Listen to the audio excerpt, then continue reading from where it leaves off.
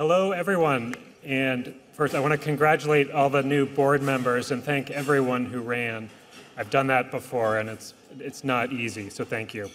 My name is Keith Bisson, and I'm president of Coastal Enterprises Incorporated, CEI, where, yes, thank you, we're a Maine-based CDFI. It's so fun to be with all of you again in person, especially for a country mouse like me to be in New York City is awesome, so thank you. Those of you who know me know that the topic of today, namely the intersection of environmental justice and community development finance, is close to my heart, and I would even say my life's work. Human activity is depleting the natural resources and ecosystems on which our health and survival depend. The current climate crisis is just one of the outcomes of economic conditions that fail to account for human and environmental costs. It is well documented by data and our collective experience that the harmful consequences of climate change disproportionately fall on lower income people in, in communities of color. These are the people and communities that we serve. While CDFIs are no stranger to green finance, current circumstances demand an accelerated response from everyone concerned about environmental justice and a warming planet. We can't be naive about the challenges, but I'm confident that we have the power to change this trajectory. And I say that with history to back me up. Many of you probably know that Tuesday was the 50th anniversary of the signing into law of the Clean Water Act, which Maine Senator Ed Muskie, who is a, a, kid from the small town of Rumford, Maine, small mill town of Rumford, Maine, helped shepherd that bill to passage with the support of concerned activists and, mo- and mobilized citizens across the country. That law profoundly improved the lives of people across this country. And I think it's, we can say that we're at a similar moment at this time with the climate crisis. Today, we're going to be talking about CDFI, why CDFI engagement is so important to a more sustainable and equitable future. Our speakers today are national and global leaders who are contributing to profound and positive change. In that sense, they're practitioners like all of you who work every day to help people and communities thrive. So now I'd like to invite our first speaker, Mindy Lubber, to come to the stage.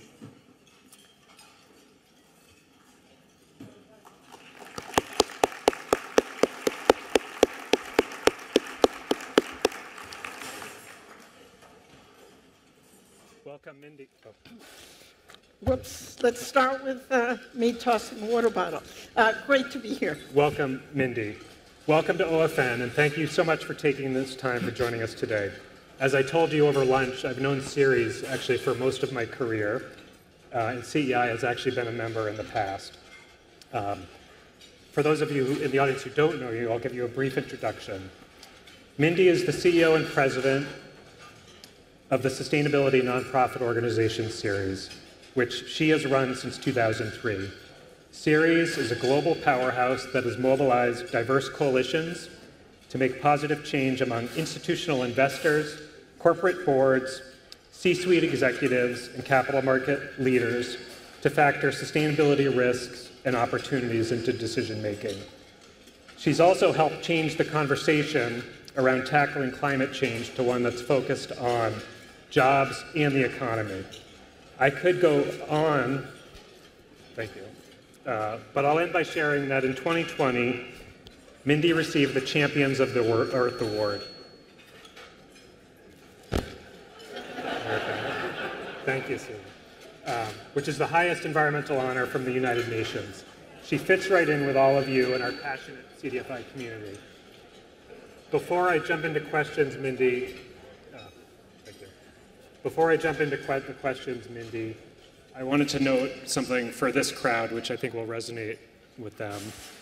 Um, on Monday evening, Ceres presented, is that echoing for, it's okay. Um, Ceres presented the Joan Bavaria Award, which is the Ceres equivalent of the Ned Gramlich Award for OFN, to our friend, a friend to many of us, Napoleon Wallace. Um, Many of you know Napoleon uh, or have been touched by his kindness and passion. And I was thrilled to read that on my trade ride down here. So I wanted to make that connection with Mindy's work and all of you. So without further ado, Mindy, um, your organization has emphasized that sustainability is the bottom line. Can you tell us more about Ceres and your work to transform the financial system? Uh, I'd be delighted to, and thank you. Uh, and it is great fun to be here. I'm an advocate. Uh, I have been an advocate for 38 years as a regulator, as a litigator. Is the echo okay? You don't mind it. Okay. Um, and, and when I left the EPA in the, in the Clinton administration, where I was the regional administrator, having spent at that time 25 years suing companies to do the right thing on the environment, on the communities, um, I realized that was a slow go. We could win a lawsuit, but it often took three years, four years, 40 lawyers, 10 scientists. Um, and what I wanted to do was move priv- the private sector to support the values of what you all believe in and what we all believe in. That somehow capitalism was not only meant to be short term profits, that you couldn't build and run an economy where we trampled over human beings and the environment, where we created, frankly, the kind of problems we're living. That if I had to factor in climate change, water shortages, humanity as a financial matter, I'll build financial models. But we needed to build into the economic models that there, if there is no future, there is no economy. If climate change literally moves at the pace it is moving, our kids have no future. That means no jobs and no community. So there's no planet B. There's no second set of human beings. If we don't put value on those things as it relates to corporate America and investors, we're missing the boat and imploding the future. Um, so I spend all of my time, thank you. you know, it's interesting and funny or something, uh, you could describe what it is. I spend all of my time trying to move the world's largest companies, training their corporate boards, pushing their CEOs, getting them to set goals on climate, on water, on economic justice, on communities, because it must be part of who they are and what they do. And we push them and work to make it happen. I spend a third of my time with investors, the world's largest investors. We work with 220 North American investors, 600 global investors, to get them to think about, to analyze the risk of human capital and what we're doing to human beings, of the environment, and build it into their models. And, you know, I find myself talking to Goldman Sachs and Morgan Stanley and JP Morgan, whoever we need to change, I will sit with. Um, and then we bring the voice of the private sector into the regulatory and the policy debate. So it's not only an NGO, as if NGOs aren't important enough, but we're bringing the voice of business and investors to make the case. If we don't look at climate risk and water risk and what it means to our economy and what it means to our communities, we're, we're not getting the numbers right. We are ignoring this thing called the economics and the economy. My final point in general is it's not that I don't think first about humanity. You know, I've got, I've dragged my kids to speeches for decades. They're now 27 and 31. As last I checked, they're not with me today. They do have their own lives. But I, like every mother or father or aunt and uncle in this room, believe that we have a bus coming at our kids. If a bus was coming at our kids in our neighborhoods, we would jump in front of that bus. We've got that bus coming at our kids right now, and it's time to come together, to work together, to jump. Where I'm not seeing as many familiar faces here as I do when I am at Goldman Sachs. That's crazy. We are one community, and we need to build and integrate sustainability defined by the environment and social justice into every part of our economic models as well as into humanity. Thank you. Thank you so much, Mindy. One thing we know about climate change is that it affects everyone. And can you talk about what's at stake for low wealth communities and Um, does the green, green economy, whatever we want to call it, also offer t- opportunities to those communities? So it, they will offer opportunities if together we work to make sure that happens. I mean, I don't want to state the obvious, but I do want to answer the question. Like so many things, lower income communities and low wealth communities just get the raw end of the deal. Whether it's New Orleans after Hurricane Katrina, I could name you 20 things, whether it's Mississippi and what we just saw with the water crisis, where 150,000 people didn't have water for a month. I mean, the ills within communities, and communities have the less resources, they get hit they get imposed upon in ways that is unconscionable.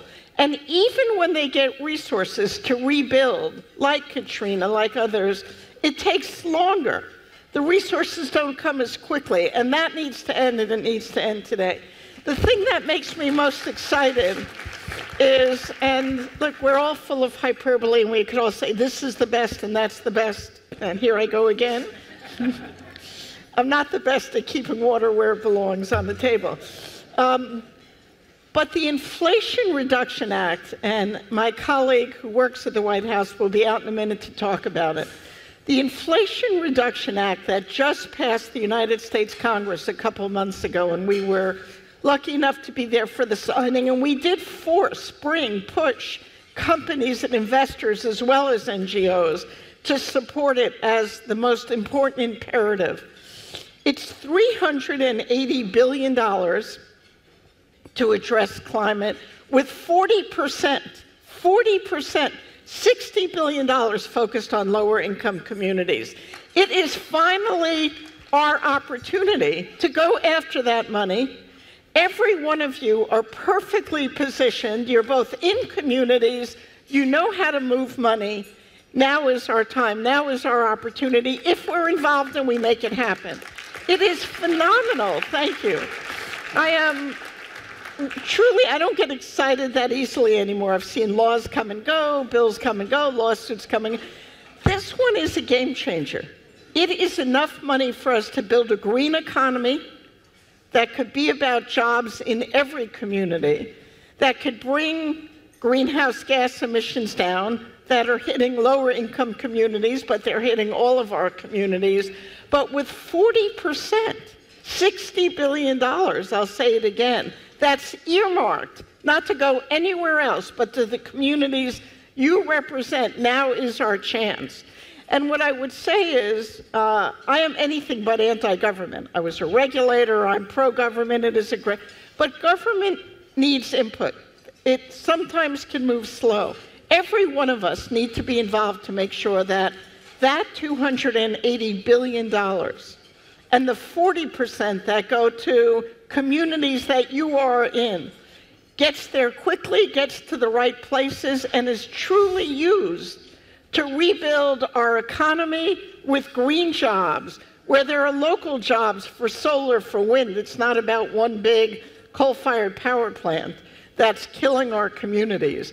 It is about rebuilding the economy, the health of our citizens, and the money is finally there. So, if I said nothing else today, uh, and they're probably going to throw me off, so I might say nothing else, it is we need to be involved and engaged in making sure that 40 or 40, 60 billion dollars, 40 percent of the overall Inflation Reduction Act gets as quickly as possible to the human beings who deserve it, where it was earmarked for. Lord knows I'm not going to get political. I promise I'd get, um, I'd get thrown out of the nonprofit community, but um, we don't know what's going to happen in November. Um, we just need to move things quickly and make sure the values of community empowerment and the resources and the answers to the climate crisis, which is where I spend an enormous amount of my time, and it is an existential threat where we marry the answers and solutions to the climate crisis, to the health and breadth and depth of where our communities have more power and ownership. We make sure the jobs are there, that for communities harmed, the money is there to rebuild.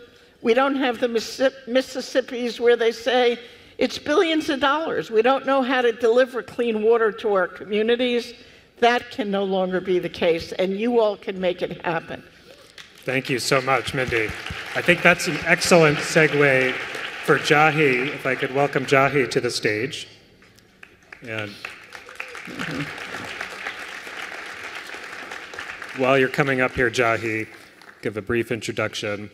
For those of you who don't know Jahi, he's, he's the special assistant to the president for climate policy and finance in the White House Office of Domestic Climate Policy, where he focuses on climate finance, clean energy deployment, and economic development. He has held climate positions in the office of the mayor of New York City and at a national nonprofit focused on clean energy finance and deployment. Uh, before that, he practiced as a project finance attorney at an international law firm and general counsel of a social enterprise focused on community scale clean energy. So, Jahi, thank you so much for being here today and for the work you're doing on behalf of the American people. Um, I'll go quickly now into questions, uh, Jahi. Just, uh, Mindy talked about this, but Justice 40 is a Biden administration commitment to environmental justice and to focusing the benefits of federal investments on disadvantaged communities overburdened by pollution. Can you tell us how this is being implemented and the administration's goals for the future? Thanks. Thanks so much. Uh, can you hear me? Great. Well, thanks. Thanks for the introduction. And it's very hard to follow Mindy, as you can you can tell. She's incredible. Um, and it's really good to be here uh, to take a point of Still can't hear me? Better now? Okay. Take a point of personal privilege. Uh, I've been mentored by a lot of folks in the CDFI movement. Uh, Martin Trimble, uh, Chuck Mukenfoos, Brian Argrett have been kind of key folks who've taught me. Um, so it's kind of cool to be on this. Still can't hear me. Like, like here? it's like, uh. This is, I see what kind of panel this is going to be. Okay. Um, all right. All right. Good. Okay. Good. Uh, anyway, uh, it's great to be on the stage with you all, uh, and we have a lot of good good things to talk about. So, just stepping back for a second to, to your question, um, when the president came in, you know, as Mindy said, we, we have the existential crisis of our of our time, climate change, uh, he was very clear that we wouldn't be able to address climate change without addressing the economic, social, environmental inequality that, that's underpinned the fossil fuel economy of the last, of the last uh, several generations. Um, and as part of tackling that people side of the equation, we put in place a, a, number of pieces of infrastructure, one of which is Justice 40, to make sure that as we tackle the crisis, we actually get the resources to the right places. One, something that Mindy used to spend a lot of the time on, enforcement okay? Communities are harmed by pollution, they're harmed by polluting industries, they're harmed by corporations, and we've taken an aggressive stance to make sure that those harms don't go unanswered and that justice is delivered in those contexts. Um, two is voice. Uh, we've put in place a number of different avenues for communities to have voice in the White House, in the agencies, to make sure that as policies are developed, as programs are stood up, that those voices shape um, and that we're not just speaking to people that we're in a, in a dialogue with. Um, and last, and, and really interestingly, which kind of sets the table for the Inflation Reduction Act, is the Justice 40 initiative. Um, folks are familiar with this. Have we heard of this? Does this resonate in this room? I thought it was incredible. It's part of the reason I actually joined the administration. The president on the campaign trail committed to delivering 40% of the benefits of all climate and clean energy investments to disadvantaged communities. So just take a step back and think about that for a second. Like the scale of investment that we make as a country on an annual basis, making sure that 40% of that goes to the communities who need it most. Um, incredible, incredible. And so I've had the honor and privilege of working every day for the last 21 months um, to make that real. And so the, the Justice 40 framing was very intentional. Uh, 40% of the benefits of climate and clean energy investments in disadvantaged communities all those words have to be defined. Uh, none of those words are self apparent. So, first thing, what's a benefit? That's kicked off a process where each agency in the federal government has gone through the list of programs that they offer and look to say which of these fit as climate and clean energy programs and what are the benefits delivered by those programs and how do we maximize the benefits that go to disadvantaged communities. Over the last six months or so, we've begun publishing lists of the programs that are covered under the Justice 40 initiative. So far, we've identified over 400 programs that now are, need to be purpose built to support disadvantaged communities. And, and, from those programs, we've already released uh, over $20 billion of notices of funding opportunities with express language in them for Justice 40. Um, the second piece of it um, uh, to disadvantaged communities has also kicked off a really big process within the federal government. Uh, in the next coming months or so here, uh, we'll release a screening tool which will identify a number of communities across the country that are overburdened by pollution, by economic injustice, by socioeconomic distress, um, combined together into, into a single map that shows disadvantaged communities for federal investment. So with these tools working together, we now have the infrastructure that we have $370 billion to come in to make sure those resources can flow through the federal government and into the right places. Thank you, Jahi. You've, you've both alluded to the, you know, the massive amount of uh, resources in the Inflation Reduction Act to com combat climate change. Where do you see CDFIs fitting in, Jahi? It's a, it's a really, it's a really good question. Um, I think, I think it's a couple, a couple different uh, places. Um, climate is a global, global problem. We have to solve for the emissions of our entire planet in order to keep it from warming to a point where it's uninhabitable. Um, but as incredibly local solutions. Um, it's the, the solar panel on someone's roof, it's the electric vehicle in their driveway. It's the, the, the, quality of the water in their community. These are the ways that folks will actually experience, experience climate. And that's where I think CDFIs are just incredibly uniquely positioned to advance climate investment. You know communities uh, better in many cases than any other industry. Um, you've been there, you've helped build, you've invested deeply. We need that expertise in the climate movement. We need that really local knowledge in the climate movement, especially at this moment where we have this massive inflow of, of resources. And this moment where we have a massive inflow of resources and a mandate to make sure they get to the right communities. So I think it's two things. I think one, I would call on CDFIs to really begin to integrate climate into how you think about community economic development. As you look at a community, as you look at your target markets, think about what are the various ways we can produce you know, more efficient buildings, um, lower costs of transportation, lower energy costs for family as part of the, the package of the way we support community economic development. Um, I think, I think two, um, go on offense. Uh, these resources, this 370 billion of resources, are for all of us to work to implement. Bring your ideas to us. Tell us about what you're seeing on the ground in your communities. Tell us how your, the programs that we administer can be shaped to support the places where you're doing work um, so that we can, we, can, we can work together to deliver these to the right communities. Thank you so much, Jahi.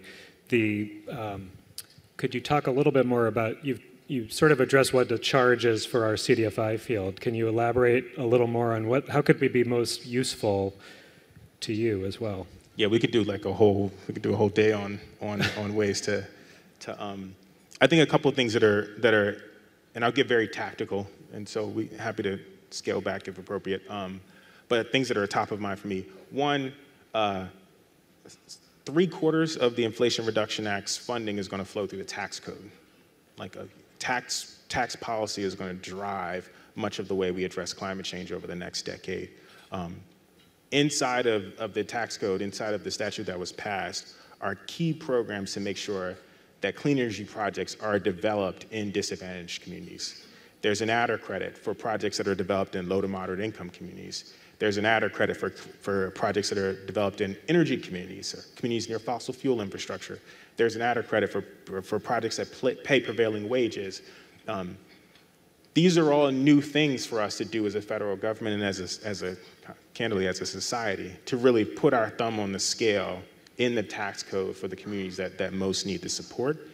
And we need help figuring out how to do that right. Um, the answers are not entirely apparent. Just a few weeks ago, the Depart- US Department of Treasury issued a request for information where they just ask like dozens of questions to say, how should we build a low to moderate income adder program for clean energy projects? What should that look like? What should we think about? So I encourage everyone to step in and, and, and, and weigh in on specifically on the Treasury, the Treasury RFIs. And, and they know another program that's top of mind for folks potentially in this space is the Greenhouse Gas Reduction Fund at the Environmental Protection Agency. Um, really powerful tool that grows out of a, a, movement that folks in this room have been involved in um, to create a national financing infrastructure for clean energy projects. $27 billion that will be allocated functionally over the next 24 months to support clean energy projects. Um, upwards of 50% of that funding has to go to disadvantaged communities. In the coming months, EPA will set out to design that program and how to allocate those funds. We need this community to really weigh in deeply on that process. So when you see the RFI, when you hear about the stakeholder call, when your regional EPA administrator calls you in to say, like, we need to have a roundtable about what this means in our community, answer that call um, because these decisions we make really in the next six to 12 months here are going to shape the next decade of investment um, in our communities. Okay. Your phone's going to be ringing, Jahi. I think that's, that's, that's good. That's what I like. fill up your your inbox for sure. The um, I have a couple questions for both of you, but I I first wanted to just bring it down a little more locally. You know, I, I work at a CDFI that's long operated with, with what we've called a triple bottom line that emphasizes financial return, community development benefits, and environmental stewardship. At the same time, protecting the environment is central to the mission of many other CDFIs here today, and I think you learned a little bit about that this morning too, and we'll hear more this afternoon. For CEI, this has meant helping to advance a just transition to an environmentally sustainable economy and resilient climate future in Maine and other parts, rural regions of the country. Uh, like you, I think, we envision a radically transformed economy where clean energy is commonplace and the impacts of climate change are addressed and mitigated through rapid decarbonization, effective policy, which I think the IRA is a great example of that, and creative and flexible financing for Maine businesses, or well, I'm focused on Maine, as you can see, that are helping build a more resilient future. Um, um, and we're going to keep building on this. So I, I, wanted to share that. Energy is a critical part of that, uh, but you know, as I, I think Henry Jimenez, who was elected to the board, talked about food this morning, which I thought was so beautiful. And that's a really important area of our work and requires specialized financial products. And again, as we talked a little bit about this morning, I think whether it's a solar buy down loan product that we've developed with inspiration from um, Amir Kirkwood's team at VCC, or a sea farm loan product that's tailored to the needs of a specific industry that it deals with a lot of seasonality and stuff. I think there's a lot of opportunities there. A recent example that I think may resonate with many, we CEI recently financed a, a coffee shop started by a low income entrepreneur, a woman owned coffee shop. Um, we financed her solar arrays. She wants to be the first net zero coffee shop in the state of Maine, and I think she's on track to do that. Um, and that example leads me to my final questions for both of you, or maybe not final. We might, if we have time, we'll get to others. But a warming planet, as I think you both ref- referred to this, requires global action. At the same time, we're working block by block, business by business, um, at the community level. Is that also an important role to play um, in a global strategy? And either of you can take that. Well, I could start. I mean, there, there are multiple places where we're going to make change. Two weeks from now, in Egypt, all of the countries of the world come together to follow up on the Paris Agreement that we've all heard of, to talk about several important things. One is how we get to the goals of truly not having a planet that is too warm for our kids to live in. I mean, right now in India, I can name 10 places where people can't go outside because it's too warm. We're now having to put heat officers in our communities, something we never heard of. So we've got a problem at multi levels. At the global debate two weeks from now in Egypt, where every country will be there. There is a focus on goals, but there's a focus on moving money to the right places. We don't solve this problem if we don't help the global south. We do not solve this problem if we don't see it as one problem in one community. Uh, and that means tens of billions of dollars and trillions of dollars to the global south. Without doing that, it doesn't happen. And part of the COP, the Conference of the Parties in Egypt, is to bring countries together where the wealthier countries are being asked to help those countries that have been at the wrong end of climate, suffering more, having not created the problem. They're not highly manufacturing, highly emitting greenhouse gas emission. So part of the problem, part of the problem and solution is how do we deal with it globally? There is a very real goal nationally, and we just saw not only the Inflation Reduction Act, we saw several trillion dollars passed in the infrastructure bill. Again, an initiative that this administration was behind. So we have several trillion dollars that are now available to build roads to your communities, to fix bridges in your communities. There is an opportunity there at the federal, state, because most of that money will flow through the states and even to the communities, to make sure the better part of those trillions of dollars are used to build roads and highways and bridges and hospitals that are less polluting. We're putting it into steel and cement that are less polluting. And we're building communities at the local level, the right kind of resources, the right kind of buildings, the right structures.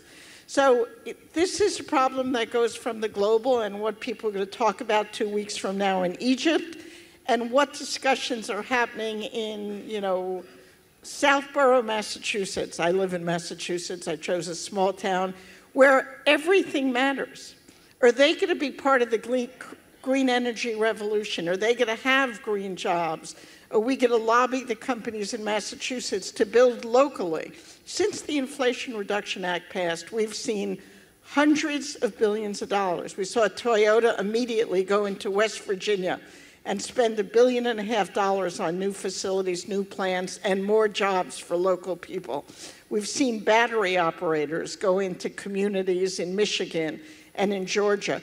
We've got to make sure that we are tying the solutions of climate to the communities that matter and the communities that have been impacted. And everything about the policy debate, from Egypt to Southborough, Massachusetts, or Portland, Maine, have to be tied together by those themes and that narrative. And I think we are finally have the opportunity to do that.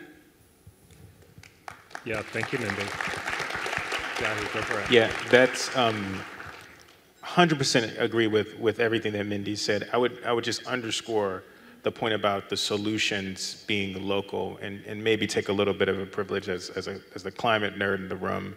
As we look at our decarbonization pathway, as we look at the way we get to our net zero economy in 2050, um, we are increasingly coming into areas of the pathway that require a lot of very disaggregated, fragmented transactions or decisions to be made. Let's think about buildings for a second. If we need to, to, to, meet our decarbonization goals, we have to decarbonize our buildings. We've got to get the fossil fuels to stop heating our buildings, stop cooking our food, et cetera. But that requires individual property owners in buildings across the country to make decisions about how they heat and cool their properties. Those are very local decisions. Those aren't done in a big power plant in one place at one time. They have to be done by individual property owners. So local decision making, local projects are going to be incredibly important in this next phase. And if you look at the Inflation Reduction Act, the policy recognizes that.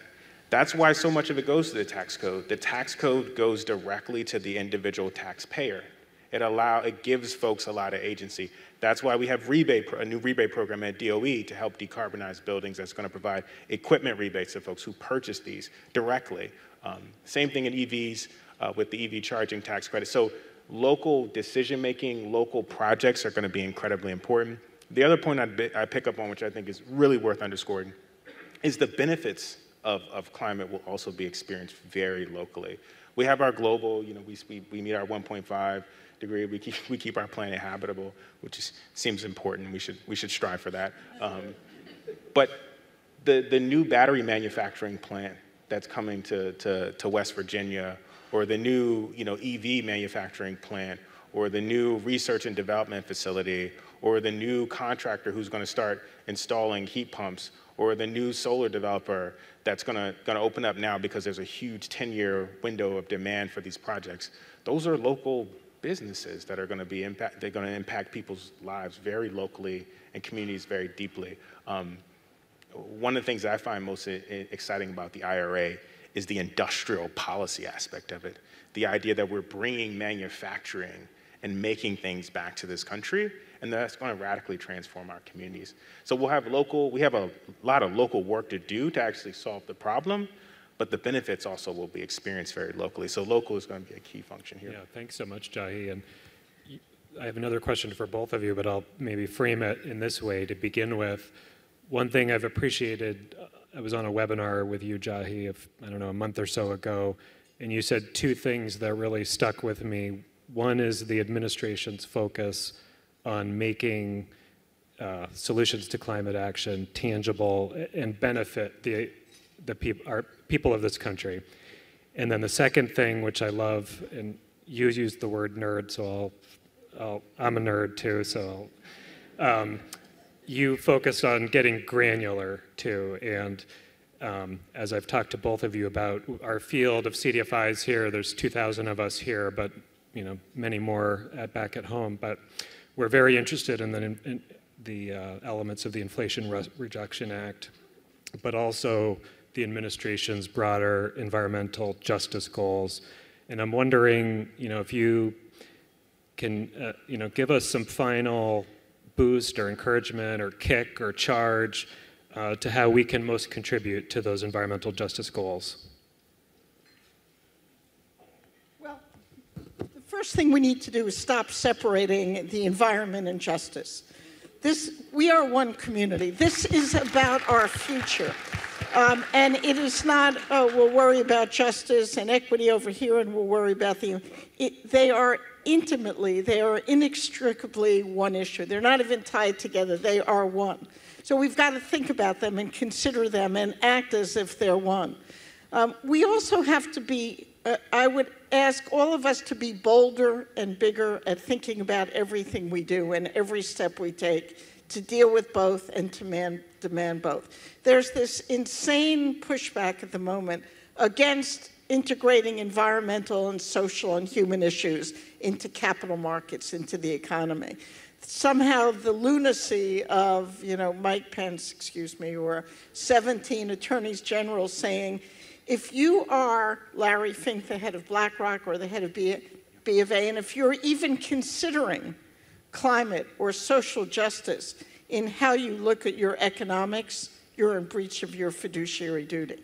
I mean, we're living a little bit in an insane world. We've got to stay strong, be strong, make the case that it is obvious that if we have communities that don't have enough water and no company has enough water for their manufacturing, or the Gap and Levi Strauss, who lost their cotton crops due to drought in some places and floods in others, it meant loss of jobs. It meant damaged communities. It meant businesses that couldn't work. When you think about California, where during the drought, and it's almost a constant drought now, that farms operated at half their production value. They laid off half of their farm workers. We doubled the, they doubled the price of produce. We lost truck drivers. Restaurants were more expensive food. These things are one issue.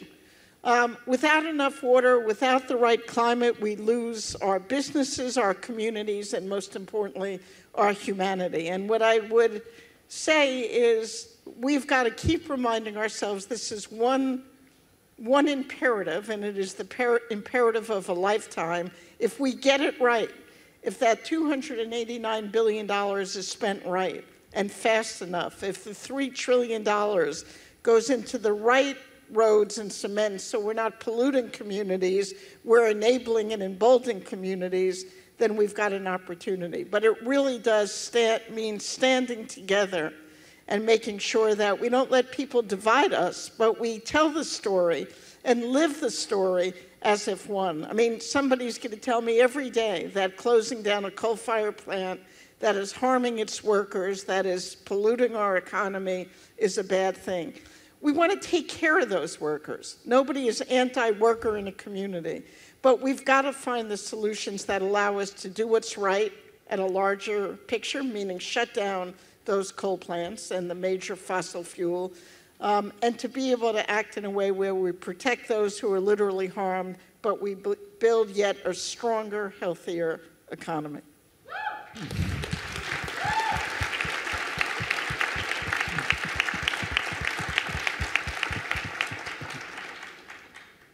Should have went first. okay. Um, uh, two, two, two, two points. Um, one, we need to see ourselves in, in this. Um, like my, my biggest hope, the reason I'm here is I hope everybody walks out of here and sees themselves as part of this climate investment movement that we're trying to spur here. Because um, I think that's the only way we actually solve the problems that are in front of us. Uh, I've given a lot of you know talks like this as part of part of my job. I've never given a talk like this with 379 billion dollars of investment hanging behind us. Like this is an inflection point that we're at right now. Um, and so I just want folks to really lean into that. Um, and then Mindy said it, we, we have to be bold. Um, this is not, you know, the scale of resources that are available to us at, at this moment only begin to approximate the scale of the problem that's in front of us. We have a ton of work to do, and we have to scale up everything that we're doing, uh, both to, to achieve our goals, to, to deliver for our communities, and, and to meet the, this, the, the problem of, of our lifetime. Um, so I'm really excited. I hope you all are too. Yeah, thank you so much. well, the um, what you're both making me think of too, and uh, is, you know, my former boss reminded me once that two books came came out about the same time in 1962 and 1963. One was Silent Spring by Rachel Carson, and the other was a book called The Other America by Michael Harrington, which really was part of the spurring, um, it, part of the, the civil rights movement, and, and really got Bobby Kennedy focused on developing CDCs. And I, I feel like there was a separation of, and maybe this gets to your point, Mindy, about not separating environment and justice is there a time now for these movements to come together as well? I guess that would be my final question here. Little, little out there, but just curious. Well, it's not only the time, it's an imperative, it's necessary. Jamie Raskin, who was one of the key players on the January 6th hearings and ran the impeachment, spoke at our Ceres event on Monday night that we heard, where we gave the award to Napoleon. Um, and he and his wife, his wife used to be with the Federal Reserve. We had the power couple, and I actually really love his wife, Sarah Bloom Raskin. They're both. But what Jamie said was democracy and climate. The attacks are coming from the same people who want to slow us down. The imperative to act is at the same magnitude. And we've got to realize what's at stake right now. And it is about it is about our humanity and economic justice and democracy and acting on climate. They are so inextricably linked. I've got people all, you know, when I try and explain what I do, and someday I'll be able to do it better, and spend all my time on the economics of climate change and talking to CEOs and boards of the largest companies and large investors and trying to get the SEC to mandate the disclosure of climate risk and to the Federal Reserve it's because money is so powerful and it talks and it makes things happen. And it is impossible for us to succeed economically. You know, remember James Carville, it's the economy stupid.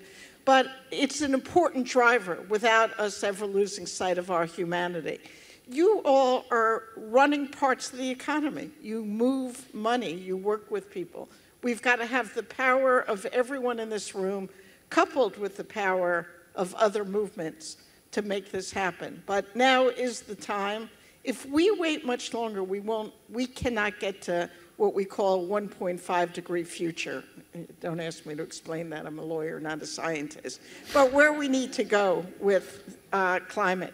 Um, we can get there, but on all of this, on democracy, economic justice, and climate, we have got to move at a bolder pace. We've got to think bigger yet, and we've got to move everyone around us. And you all are so well positioned, and I hope that I am no longer in the future feeling like I don't know enough folks in this room, but that we are working day to day in partnership. So thank you for all that you're doing. Thank you so much, Mindy. And I think your phone will be ringing too. Uh, with that, we're actually out of time. So if you could please help me thank Jahi and Mindy. Thank you so much for being here today.